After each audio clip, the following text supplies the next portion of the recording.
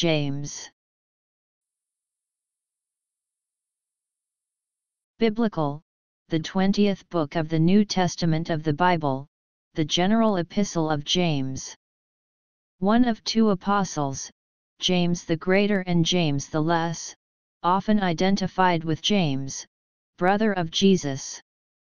A male given name from Hebrew popular since the Middle Ages. Also a common middle name. An English patronymic surname. J. A. M. E. S. James